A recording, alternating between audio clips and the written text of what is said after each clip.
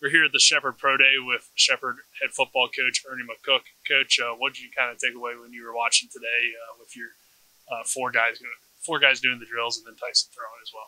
Well, I was really proud of them. Uh, you know, for them to have the opportunity to be able to participate in this and have such a great turnout from the NFL, the media, and and our fans. I mean, what a great day! Probably the best uh, pro day that I've seen here ever. I got to think it's as good as anywhere in small college football. I thought it was a great opportunity for our guys to show how hard they work and how hard they prepared to be able to try and give a shot and play in the next level. I was also really excited that we could offer opportunities to other small college kids in the state of West Virginia.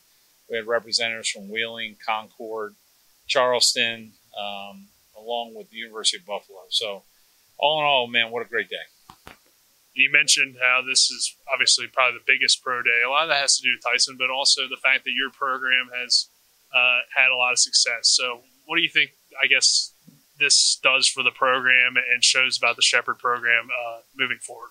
You know, I, I I think what I'm most proud of is how how well the scouts received our guys, and all the feedback that I get from our from the scouts about our our players that they evaluated is not only the good players, but man, they carry themselves well in one-on-one interactions, and that's a credit to our culture and those young men that participated today. Uh, I'm, I couldn't be more proud of our football team to be the head football coach here. That's exciting, and to be able to have players like Tyson, Joey, Ronnie, Brian Walker, Solo Alexander all participating today.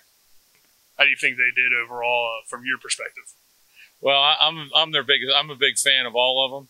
Uh, you know, I won't say I'm their biggest. They all have big fans, but I, man, I thought they did a tremendous job. I thought Tyson was on point, very serious, focused. I thought Joey, this what he did in the weight room, what he did with his 40 times in his workout with the Jets O line coach. Um, I thought Ronnie moved well, caught the ball well, and I thought Brian Walker was showed why he had so many catches and how much why he had such a successful year. I mean, he I think every ball that he caught, he got he you know just ate it up, tucked it away, and punctured the defense. So I think they all showed out very well, and I and I think uh, I think good things are going to happen for them. Coach, thank you for your time. Sure thing. Thank you, guys.